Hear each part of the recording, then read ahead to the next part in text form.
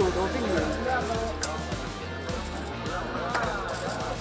Saya terpanggil karena sudah waktunya kami melihat bahwa sudah waktunya saya harus membayar hutang saya yang dulu saya diberi amanah oleh anggota PSSI, para voter dari 94 itulah akhirnya saya sekarang mencalonkan diri sebagai ketua umum PSSI. Saya juga sudah mendengar saudara Juni Rahman itu mengatakan kepada saya bahwa percuma saya maju karena kalau saya maju tidak mungkin menang karena semuanya sudah diarahkan kepada Erick Thohir.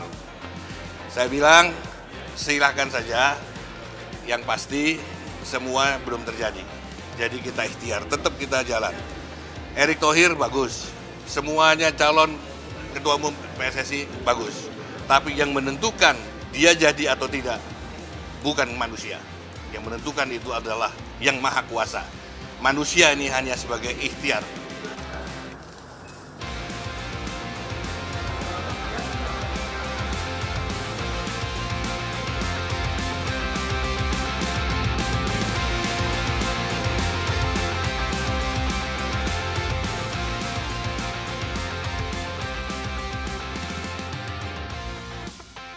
sudah banyak teori dalam perbaikan sepak bola Indonesia. Betul nggak banyak teori? Banyak teori, banyak konsep. Sebenarnya yang harus kita lakukan adalah kita bernyali. Bernyali untuk sepak bola yang bersih dan juga sepak bola yang berprestasi. Itu yang terpenting gitu.